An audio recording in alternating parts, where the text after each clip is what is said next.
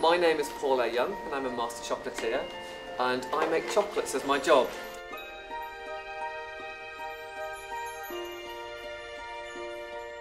So I work here in a specially designed chocolate kitchen in central London where we make everything by hand but we don't just make them here, we have a shop above us which is our showroom where we sell everything.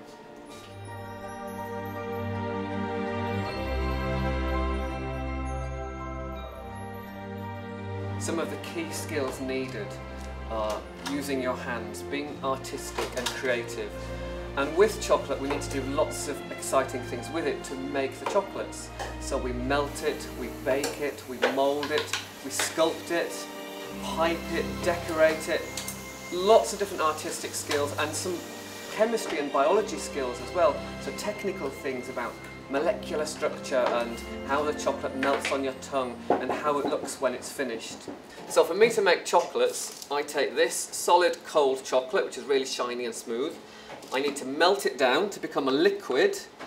So warming it, it becomes a really glossy liquid. And I do this by putting it in a bain-marie, which is basically a water bath. Warm water below, chocolate above, and over time, all night, it becomes this smooth, warm, liquid chocolate. Then I need to cool it down again and it becomes really solid, crisp and shiny. This is going to cool the chocolate down really, really quickly. And if I spread it really thinly, right across the slab, the temperature of the chocolate's cooling down, which is going to make the chocolate really shiny and really crisp.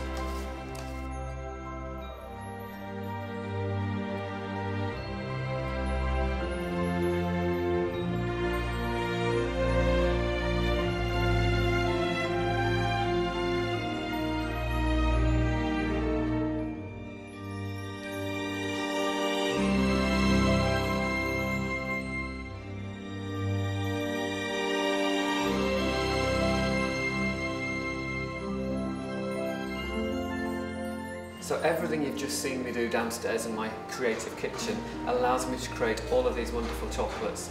Following all those rules, all those little tips means we can create these beautiful, beautiful, gorgeous chocolates.